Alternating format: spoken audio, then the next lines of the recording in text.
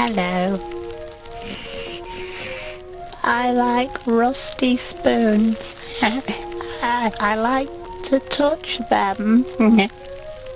the feeling of rust against my salad fingers is almost orgasmic.